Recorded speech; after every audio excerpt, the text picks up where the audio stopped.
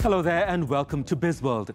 Yayasan Pelaburan Bumiputra YPB's Board of Trustees has appointed Prime Minister Tan Sri Muhyiddin Yassin as its chairman. Meanwhile, Finance Minister Datuk Sri Tengku Zafrul Aziz will be the deputy chairman effective April the 14th. In a statement, Permodalan Nasional Berhad PNB said the Board of Trustees comprises four members, adding that Tan Sri Zeti Aziz and Tan Sri Amrin Buang would remain as members of the board. The YPB Board of Trustees and PNB's Board of Directors also welcomed the new appointments and will work under their leadership and guidance to take PNB to the next level.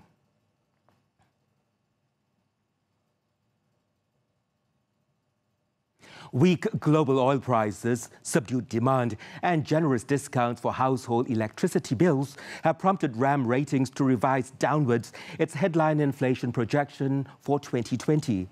The rating agency lowered its projection from 0.7 to 0% and envisages a deflationary trend in the second and third quarters of this year. While inflation remains stable at 1.5% in January February, it is expected to ease to negative 0.2% in March. RAM Ratings said a key trigger of the downward revision is the likelihood of a deeper and more persistent weakness in oil prices amid a supply glut. Despite the recent OPEC led agreement to cut production, the biggest on record, the move may not be enough to offset the overwhelming loss in demand amid the coronavirus pandemic.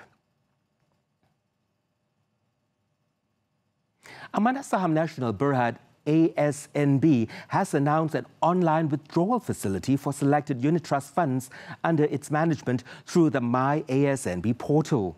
Unit holders will now be able to withdraw their investment from any of their ASNB unit trust accounts, except for ASN Sara Dua and ASN Equity Lima.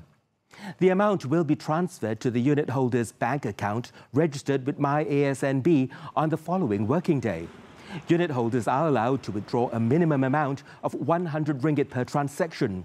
However, the My ASNB withdrawal facility is limited to three transactions per month, with a maximum accumulated amount of 500 ringgit from any of the ASNB unit trust accounts belonging to the unit holder.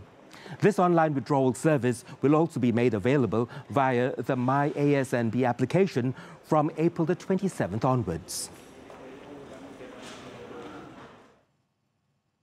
Malayan Cement Berhad's forward volumes are expected to be supported by post-movement control order MCO pent-up demand from the in-progress domestic construction projects and decent export traction spilling over into 2021. Malayan Cement's key earnings would also be underpinned by significant synergistic benefits to be reaped from its ongoing business integration with YTL Cement. RHB Investment Bank Berhad said the upcoming 12th Malaysia Plan will provide longer-term volume visibility, potentially skewed towards the upside owing to pent-up demand from previously delayed infrastructure project rollouts.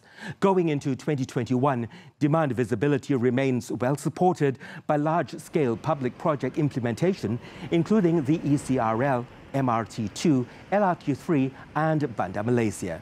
However, its key risks include a relapse into a price war, the prolonged COVID-19 situation undermining its cash flow.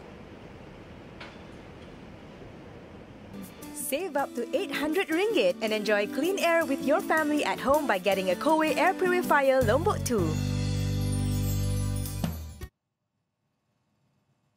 And that's all for now. I'm Brandon Wong. Please stay at home and stay tuned to TV3.